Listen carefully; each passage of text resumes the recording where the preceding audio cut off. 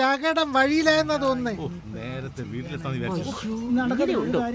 നിങ്ങൾക്ക് എവിടെ പോകാനാ? വണ്ടി സ്ഥലം വരെ പോണേ. നടക്കത്തില്ല. നമ്മുടെ K S R T C അല്ലേ? റീഫണ്ട് ചെയ്ത് എന്നിട്ട് അത് നമ്മൾ എന്ത് പോയാ മതി. എന്നിട്ട് ഇരുന്നാ മതി. ഈ വണ്ടി വിശ്വസിച്ച് ഒരു വഴിക്ക് പോകാൻ പറ്റില്ല.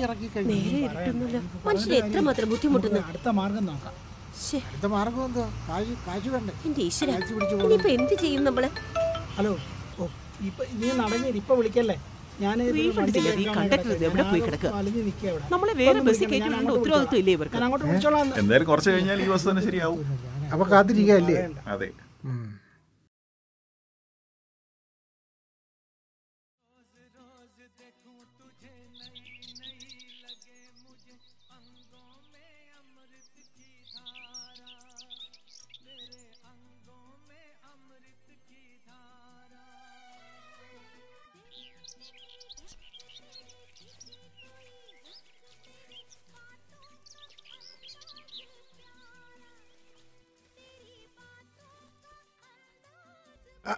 അവിടെ ഇരിക്കണ്ട.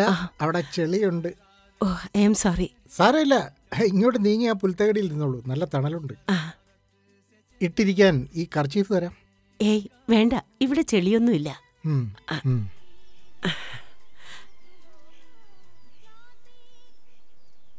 നല്ല ഭംഗിയുള്ള പ്രദേശം അല്ലേ? വൈകുന്നേരത്തെ ഇളവേയിൽ തട്ടുമ്പോഴാ ഭംഗി. ഓ ഇനി എത്ര നേരം ആവോ എന്തോ? അസ്തമിക്കാനോ? അല്ല ആ ബസ് ശരിയാകാൻ. ഓ അതോ? വണ്ടിയുടെ കാര്യമല്ലേ? ഒന്നും തറപ്പിച്ച് പറയാനൊക്കില്ല. ഇതിനാരാ ഫാസ്റ്റ് പാസഞ്ചർന്ന് പേര് കൊടുത്തത്? Transport corporation. ഇവരുടെ എല്ലാ വണ്ടികളും ഇങ്ങനെയാ വഴിയിൽ കിടക്കും. ഇവരുടെ മാത്രമല്ല എല്ലാ വണ്ടിയും വഴി കിടക്കും. ഒരിക്കലെങ്കിലും വഴി കിടക്കാൻ ഇടവരാത്ത ഒറ്റ വണ്ടി പോലും ഇതുവരെ ഒരു കമ്പനിക്കാരും ഉണ്ടാക്കിയിട്ടില്ല. അത് ഓടുന്നത് വഴിയിലാണ് കിടക്കേണ്ടതും വഴിയിലാണ്. എന്നാലും സ്റ്റാൻഡിന്ന് വിടുമ്പോ അറ്റകുറ്റങ്ങളൊക്കെ പരിശോധിച്ചിട്ട് വേണ്ടേ വിടാൻ? സ്റ്റാൻഡിന്ന് വിടുമ്പോ കുഴപ്പമൊന്നും ഇല്ലായിരുന്നല്ലോ. അതൊന്നുമല്ല. തീരെ ഉത്തരവാദിത്വം ഇല്ല. ഇതെല്ലാം കണ്ടം ചെയ്യേണ്ട വണ്ടികളാ. നമ്മളും ഒരു കണക്കിന് കണ്ടം ചെയ്യേണ്ടവരല്ലേ? ഞാനിപ്പോ പോകുന്നത് വർക്ക്ഷോപ്പിലേക്കാണ്. വർക്ക്ഷോപ്പിലേക്കോ? Medical college hospital. അതെയോ? അതെ. ഞാനും അതെ. അതെയോ? എന്താ സുഖം വയറിലൊരു വേദന. എന്റെ കിഡ്നിക്കാ തകരാറ്. കിഡ്നിക്കോ? ഓ എന്നാ സൂക്ഷിക്കണം. നിങ്ങൾക്കോ? യൂട്രസിനായിരിക്കും. എന്നാ വളരെ സൂക്ഷിക്കണം. സാരമില്ല. റിമൂവ് ചെയ്യാവുന്നതേ ഉള്ളൂ. കിഡ്നിയും വേണമെങ്കിൽ റിമൂവ് ചെയ്യാം. ഇന്ന് റിമൂവ് ചെയ്യാൻ വയ്യാത്തതൊന്നുമില്ല. ഹൃദയം വേണമെങ്കിലും റിമൂവ് ചെയ്ത് റീപ്ലാന്റ് ചെയ്യാം. ഓപ്പറേഷൻ വേണ്ടി വരുമോ എന്തോ? നിങ്ങൾക്കോ? എന്തോ? തനിച്ചേ ഉള്ളോ? എന്റെ ഒരു സിസ്റ്റർ തിരുവനന്തപുരത്തുണ്ട്. എവിടെയാ സ്ഥലം? വൈക്കം. വൈക്കമോ വൈക്കത്ത് എവിടെയാ? വൈക്കത്ത് പരിചയമുണ്ടോ? ചെറുപ്പത്തിൽ ഞാൻ വൈക്കത്ത് താമസിച്ചിട്ടുണ്ട്. എവിടെ? തെക്കും ഭാഗത്ത്. എന്റെ വീടും തെക്കും ഭാഗത്താ. വൈക്കം പത്മനാഭപിള്ള എന്ന് കേട്ടിട്ടുണ്ടോ? വേലുത്തമ്പി ദളവയുടെ കാലത്തുണ്ടായിരുന്ന ആൾ അല്ലേ? അതെ. വേലുത്തമ്പി ദളവയുടെ വലങ്കൈയായിരുന്ന വടക്കം മുഖം സർവാധികാരിക്കാർ. വലിയ പരാക്രമിയായിരുന്നു അല്ലേ? ആയിരുന്നെന്നോ?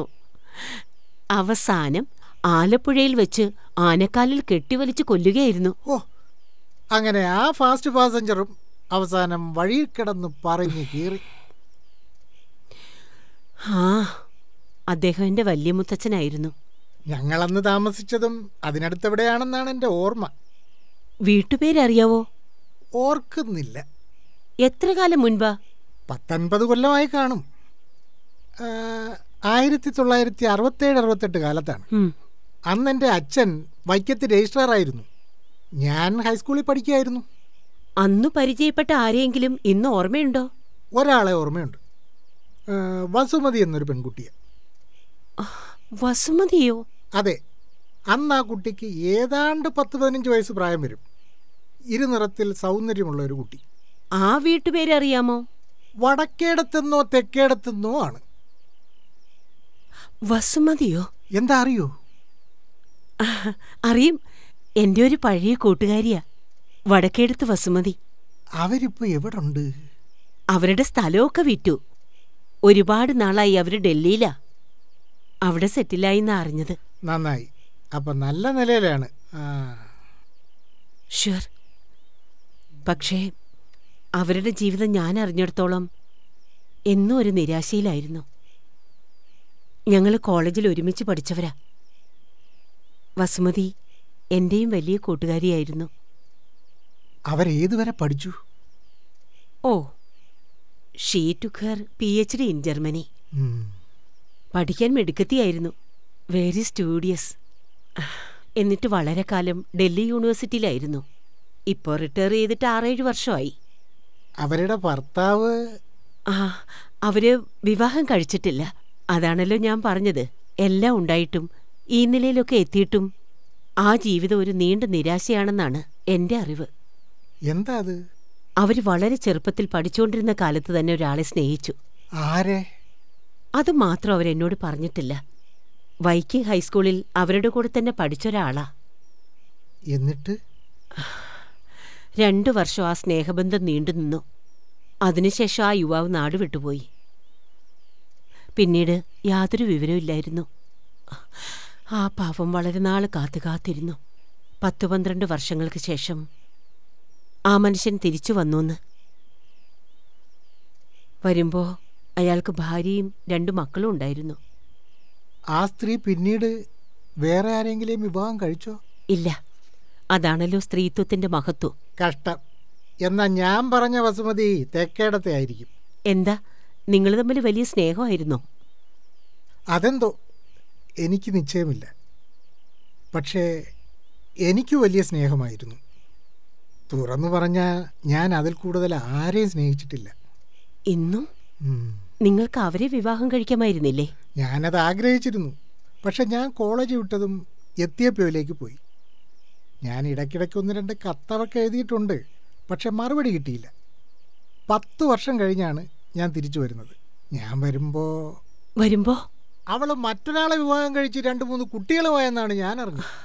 നിങ്ങൾ പിന്നീട് വിവാഹം കഴിച്ചില്ലേ? ഉം, എത്ര കുട്ടികളുണ്ട്? മൂന്ന്. കഷ്ടം. ഓരോ അനുഭവം. അല്ലേ? എക്സ്ക്യൂസ് മീ ഈ എന്താ പേര്? സുഭദ്ര. എന്റെ പേര് മാധവൻ നായർ. ഞാൻ സെൻട്രൽ എക്സൈസിലായിരുന്നു. ഉം. റിട്ടയർ ചെയ്തിട്ടിപ്പോൾ പന്ത്രണ്ട് വർഷമായി. ഞാനും റിട്ടയർ ചെയ്തു. എട്ടു വർഷമായി. യൂണിവേഴ്സിറ്റി കോളേജിലായിരുന്നു. ഭർത്താവ്? ആ ഇല്ല. അദ്ദേഹം മരിച്ചുപോയി. എത്ര കുട്ടികളുണ്ട്? മൂന്ന്. എക്സ്ക്യൂസ് മീ എന്റെ സിഗരറ്റ് ബാഗിനകത്താ.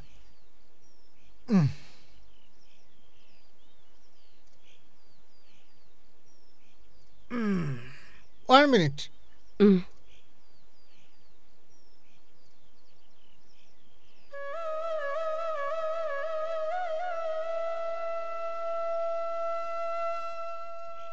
ഓ എന്തൊരു വിധി. അദ്ദേഹം എന്നെ അറിയുന്നേയില്ല. എന്റെ പഴയ ബാലേട്ടൻ ഇന്ന് മാധവൻ നായരായി മാറി. വടക്കേടത്ത് വേലിക്കിൽ നിന്ന് ആ പഴയ ആഞ്ഞിലി ഇന്നൊരു കടത്തുവള്ളമായി മാറി. വള്ളക്കാരൻ ആഞ്ഞിലിയെ അറിയുന്നില്ല. ബാലേട്ടൻ വസുമതിയെ അറിയുന്നില്ല.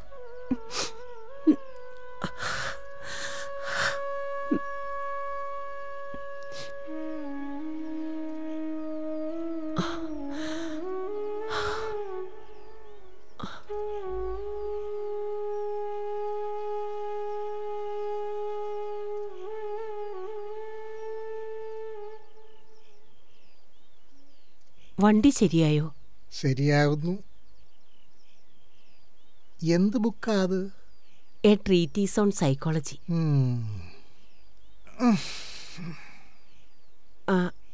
എന്ത് ബുക്കാ അത്?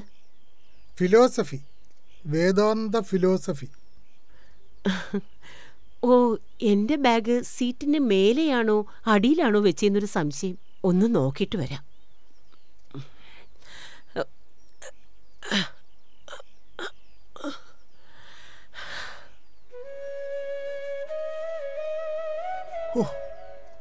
അതേ നടപ്പ് അതേ നോട്ടം അതേ ചിരി. വസുമതി നിന്റെ അസ്ഥിവഞ്ചരം പോലും എനിക്ക് തിരിച്ചറിയാം. പക്ഷേ നിന്റെ മനസ്സ് മാത്രം ഞാൻ അറിയുന്നില്ല. നീ എന്നെയും